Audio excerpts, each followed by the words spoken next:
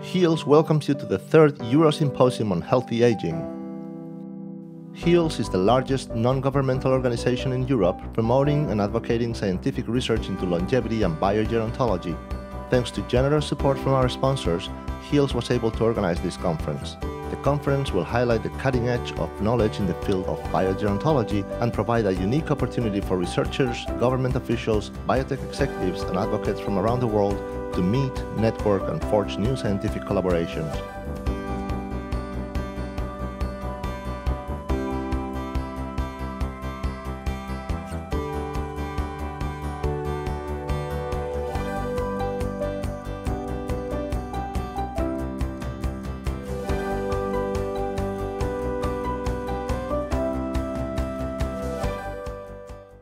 Thank you very much. Thanks. Oops. Thanks uh, the organizers for and Sven for the for the invitation. So I'm going to talk about two things. I don't know how much. Can you hear me? Yeah. Okay. Can you hear me now? Yeah. So I'm going to talk basically about two things. One is the role of reactive oxygen species in aging, and of course about mitochondria. So so the, the question we, my, my group want to answer is how do we age? And answer how do we age is extremely important because if we want to find therapies, we need to understand the aging process. And we need to be careful because sometimes, sorry, sometimes something that we think is logical, maybe it's logical, but not true. And I think a good example is the mitochondrial radical theory of aging. So during long time, the mitochondrial free radical theory of aging was the most popular theory to explain aging. And it was because it's a very logical theory. It has a very simple explanation, like as I said, with a very powerful logic. For instance, it says that reactive oxygen species, free radicals, produced as byproducts of normal metabolism cause the accumulation of oxidative damage. And the accumulation of oxidative damage is responsible for aging. And as I told you, this is a very simple logical explanation, but it's not necessarily true. Just uh, a brief introduction about what is uh, free radicals.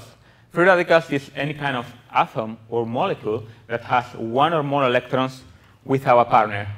And in aging, the most popular free radicals are, of course, reactive oxygen species. Reactive oxygen species, they can be originated from outside sources, but also the body has places, the cells have places that they generate reactive oxygen species. The mitochondria is probably one of the places where more reactive oxygen species are produced because the mitochondria requires oxygen continuously to make, oh, to make is the main function. The main function of the mitochondria, or one of the main functions of the mitochondria, is of course the generation of ATP. So ATP, the food that we eat, is oxidized to simple equivalents, reduced equivalents like NADH and FADH2. And these reduced equivalents are further oxidized by complex 1 and 2, and electrons are introduced to the electron transport chains. Uh, these electrons are going to release energy, and this energy is going to be used to generate an electrochemical gradient, a proton gradient, that is going to be used by ATP synthase to phosphorylate ADP to ATP. When it's not possible to extract more energy from the electrons, the electrons need a final acceptor. And for us, for uh, aerobic organisms like ourselves, oxygen is the final acceptor. That's the reason we need oxygen all the time. So once it's not possible to extract more energy from these electrons that are being transported, oxygen is going to be reduced to water with four of these electrons and two protons. And this happened at complex 4. And complex 4 is extremely efficient doing this job. Never make mistakes. Never you have reactive oxygen species. You never have free radicals. However, complex 1 and complex 2 or complex 3, they're not so good doing that. And they don't give four electrons to oxygen. They give one, two, or three. When you have one or two electrons, you have two low reactive oxygen species. In fact, superoxide and H2O2 they cannot cause oxidative damage by themselves. They are not reactive enough to attack proteins, DNA, or lipids.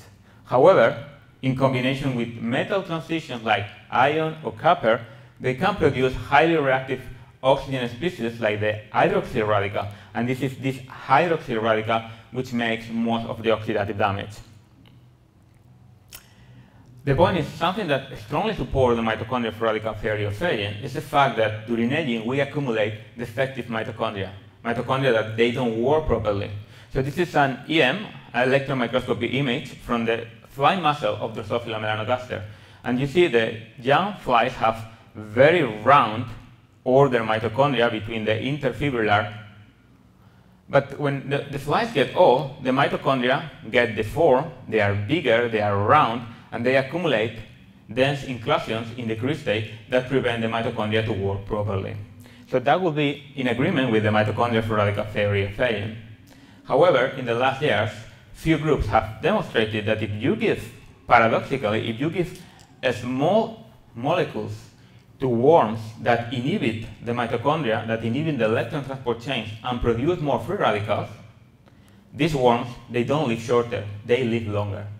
And the same happens when you have mutations in some ETC subunits, in subunits of the electron transport chains, that increase the amount of reactive oxygen species produced by the mitochondria, but paradoxically, worms, flies, and even there is a mouse model, these animals, in spite of having higher levels of ROS, they live longer. Interestingly, recently the group of Alessandro Cellerino published a paper where in a vertebrate, this is a fish, it's not zebrafish, it's another different species, they give to this fish rotenone, like other people have done in the worms, and the fish live longer. And this is a very remarkable result, although we don't know if with the doses, uh, they didn't present any data showing that this dosage of rotenone is inhibiting the complex 1 or is increasing ROS production. The thing is that how we normally explain these contradictory results is very simple. The people just accept that low levels of ROS, they are positive, they have a beneficial effect, but high levels of ROS, they have a deleterious effect because they cause oxidative damage. So at the end of the day, the role of ROS being good or bad is depending only on the amount of ROS that you have. And I guess that most of the people will feel comfortable this will be the comfort area where everybody will feel okay if we say that very high level of ROS are deleterious. But I'm going to try to show you today, or I'm going to show you some evidence showing that maybe where and how reactive oxygen species is produced, are produced, have also an effect on the physiological output of the ROS. And to do that, we need to move from the comfort area and go to the panic zone. One disclaimer is that all the results I'm going to present are in Drosophila melanogaster. So that means that this could be different in other model organisms, like worms or in mouse models, of course in humans. But something that is common in the flies and in other model organisms is the fact that when we get old, our mitochondria produce more free radicals. So this is the brain of two different wild-type species of flies, so they don't have any mutations. And as you see, let's say that one day in a fly is one year in humans, when the flies are 50 days old, they start to produce more reactive oxygen species. And they have more ROS. And this will be, once again, in agreement with the fact, with the mitochondrial radical theory of aging. You have more ROS, the fly lives shorter because this ROS damages the mitochondria. But of course, these flies, they have many other different things apart of an increase in ROS. So what we wanted to do was make a fly, a transgenic model of fly, a genetic model of fly, where only reactive oxygen species are modified. And uh, to do that, we didn't want to make mutations in the ETC because these have many side effects. So what we did is what we like to call an alternative strategy. And this alternative strategy is based on the use of alternative respiratory enzymes. Enzymes like NDI1, that is a alternative NADH dehydrogenase, able to oxidize NADH to NAD, the same than complex 1. But this is a single polypeptide. Complex, complex 1 is 46, so it's much more difficult to manipulate. And we call them alternative because we don't have NDI1, and the flies don't have NDI1 either. But this NDI1 is present in all plants and fungi, and is used to fine-tune respiration. The interesting thing is when you put NDI1 in the fly, you have an extra place that introduces electrons to the electron transport chains. And this causes an over reduction of the ubiquinone pool. And we know that when you over reduce the ubiquinone pool with electrons. The ubiquinone pool is the electron carrier that communicate complex 1 and 2 with complex 3. So all the electrons that are going to be used to produce energy somehow are going to be through the coenzyme Q. At some moment, when you over-reduce the mm. pool of ubiquinone with electron, what happens is that you have that some electrons are going to leak and are going to produce free radicals. And this is exactly what happened in the NDI1 flies. The NDI1 fly, this is the brain, they have higher levels of mitochondrial reactive oxygen species than any other fly in the lab, including the very old fly that I showed you before. But surprisingly, the NDI1 fly, they don't live shorter. They live much longer than the controls. And something that is remarkable is the, the manner they live longer. They move the same or even more, they are able to mate and reproduce, and they eat exactly the same. So they don't have any disadvantage. Just to show you one example more, more of that they really have more ROS, this is, we use a genetic encode reporter for mitochondrial H2O2. And how the, the, now the flies are alive. This is the NDI1 fly. They move. We sleep the fly for the, for the video. And in this test, the most yellow is the fly, the most mitochondrial reactive oxygen species. As you see by eye, you don't need to quantify that the NDI1 flies have much higher mitochondrial ROS levels in vivo than the control. And it's, as I told you, absolutely fine. And we know that the NDI1 flies live longer because they have more ROS because we did another experiment. Basically, what we did was use another alternative enzyme. In this, call, in this case, it's called AOX. It's an alternative oxidase, and once again, we don't have AOX. The flies don't have AOX either. But all plants and fungi use AOX. And what AOX does is something similar to complex 4, it reduces oxygen to water completely with 4 electrons and 2 protons. But it does using electrons from the ubiquinone pool, not from cytochrome C. So basically, when you have NDI1, you over-reduce the pool of ubiquinone. When you have AOX, you keep the pool of ubiquinone oxidized. When you have both of them, the level of ROS goes back to normal. When the level of ROS goes back to normal, the positive effect of NDI1 on lifespan also disappears. And that indicates that the NDI1 flies live longer because they have more reactive oxygen species.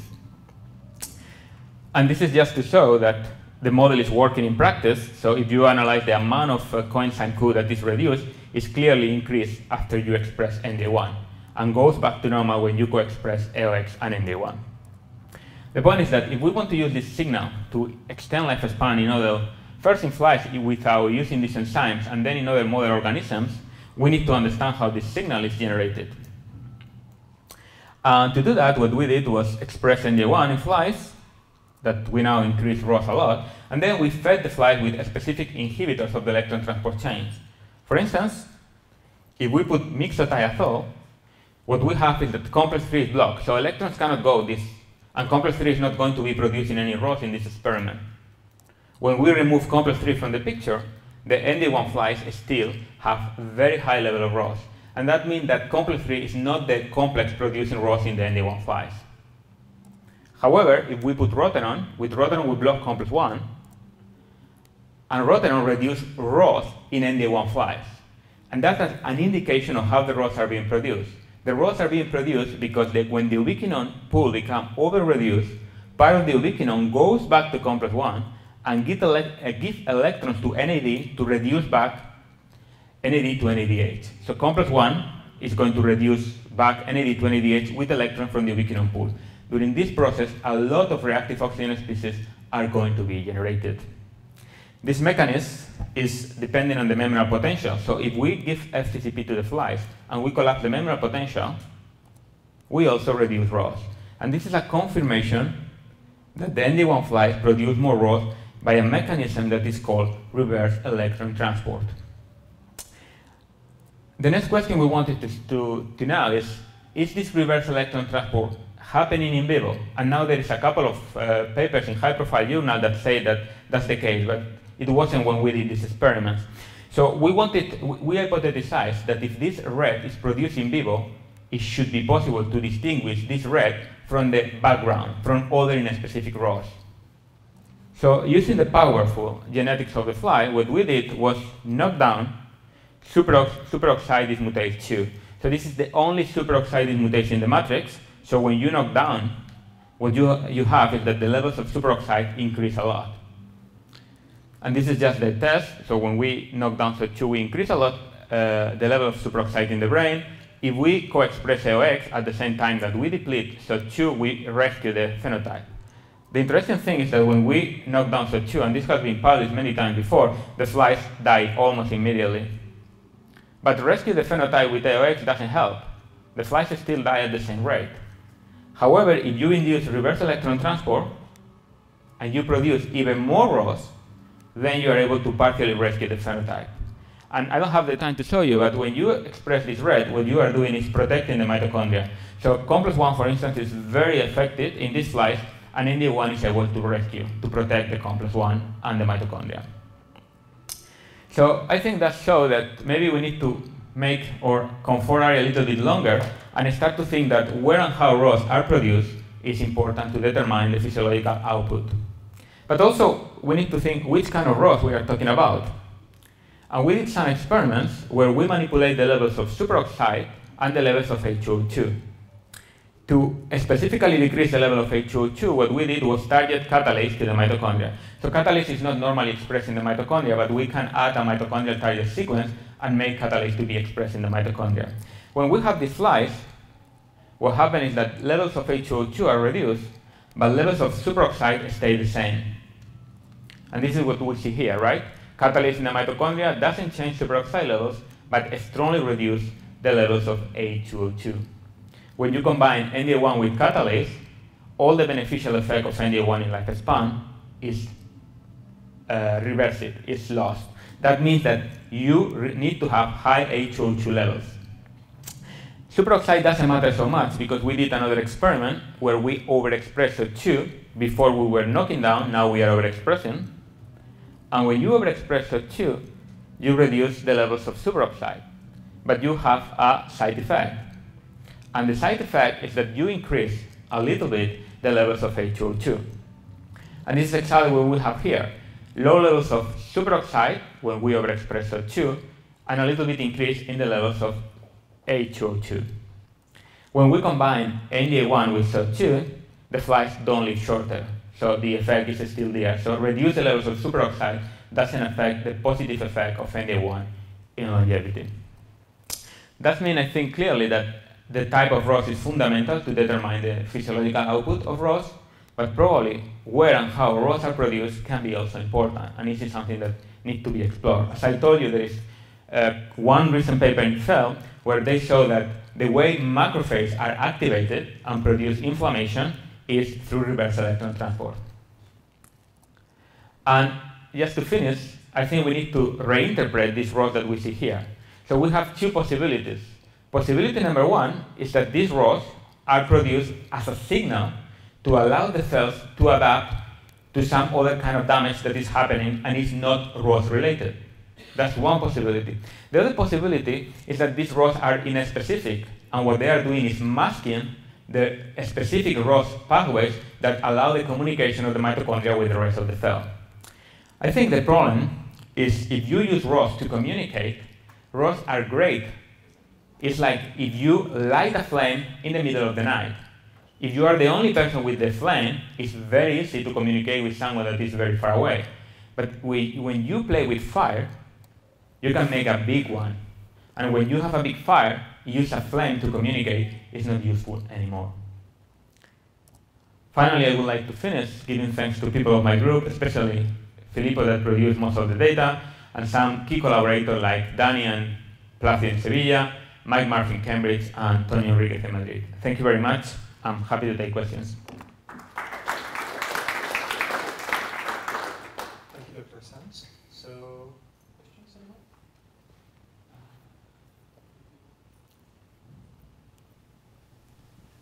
Sorry to ask many questions. I happen to work on uh, C. elegans and uh, lyse coenzyme Q. Uh, you did not mention that work. Uh, so we were uh, using mutant wor worms that do not produce their own uh, coenzyme Q. Okay. Um, and we were uh, giving uh, it in the food. And so we were giving different levels. Mhm. And when they had less coenzyme Q, especially coenzyme Q10, uh, they were living longer. Okay. And at that time, we thought that it was because they were producing less react reactive oxygen species. Uh, it seems to me that now you have a totally different view. Um, so uh, I was interested because uh, later, now the Condom Q10 is sold in the creams. So Mhm. instead of giving less, we give more. And it's supposed to be anti-aging for the skin, uh, with, of course, not much behind. Uh, so I would be happy to have your view of uh, the difference between NDY uh, in the flies and, and, and the nematodes, because it does seem a bit contrary to me. Yeah, so I don't know if I understand correctly your question, but in, in fact, this is something very important, right? And I mentioned in my talk. This, what we are seeing could be specific of the flies. So this RET mechanism that allows to extend the lifespan in the flies, maybe it's not happening in other organisms. RET is happening also in, in, in mouse, and we know that, but we don't know if it plays a positive or negative role in longevity. With the worms, one thing that uh, if you express NDI1 in the worms, this is negative. It has a negative effect. Maybe because paradoxically, and this is paradoxically because the the worms are very tolerant to depletion, complete depletion of superoxide dismutase. So it could be different. So that's what I mean. That probably you know you need to adjust the level of ROS to have the, the, the signal. But just to finish with the coenzyme Q, when you make a, in the worms, one of the problems I see in many of the stuff is published in the worms is that the worms many times they live longer, but they live in a very bad conditions, meaning that they move less. That it, maybe not in this case, but in some models where they, for instance, make uh, mutations in electron transport chains genes, they are in a very poor condition. So they are not maybe living longer; they are living slower, and then it's a little bit tricky. I don't know your model. I, di- I did see them and they were moving quite nicely. No, no, I, I'm not. How I got into the. Sorry, I, I'm not saying your model because I don't remember exactly the details. But in other models, that's that's exactly what happened. Um, very nice experiments with uh, catalase. I wondered if you ever tried some glutathione peroxidase mimics, uh, which would display a slightly different effect because they mimic the effect of the enzyme. Uh, no, we never try. The problem we will have to give that to the flies in the food, right? Which in, in theory is possible. In practice, you need to control that they, they are eating the same, that they are eating, that it's not metabolized before. So it's a little bit difficult, and I don't like to work so much with uh, with uh, with drugs that you need to supplement to the flies if I can skip. But what we could do probably is overexpress or knock down the, the enzymes, and that maybe will give us a completely different picture. So. Very nice talk. So I'm curious about, I mean, there's a theory that says that uh, the proteostatic system feels ROS, and then it triggers a response. And do you have any comment on that? I mean, Uh, this could be a pathway because there's um, people involved in aggregation. I mean, it's clear that they react to that, but there's no clear which is the pathway in which the proteostatic system feels the ROS in the, in the cell. So it is clear that the, the, the way that some proteins work, they require to have a specific uh, redox state in specific cysteines. So if you start to have a lot of ROS that are not controlled, maybe you start to affect these uh, cysteines, and this is what they start to cause problems affecting protein stability and things like that. So I'm not saying that uh, all the ROS are good. As in fact, I think that in a specific ROS ca- can cause these kind of problems. And one problem that the mitochondria can have, if, if the mitochondria use this system of, um, of communication based on reactive oxygen species, and during aging you have in a specific ROS, is that you need to be increasing the signal all the time. And at some, and at some point you're going to start to affect proteostasis. So we have some model with another colleague where we saw that some proteins that feel uh, that are involved in protein turnover, including autophagy and the proteasome, they have redox uh, sensitive cysteine that sense the level of oxidative stress and they become more or less active. So if at some point you have a lot of inspecific ROS, this sensi, you know, they are going to be, they're not going to be able to, to deliver the work and this can cause problems. Okay, thank you. Thank you, Dr. Sanz. Thank you.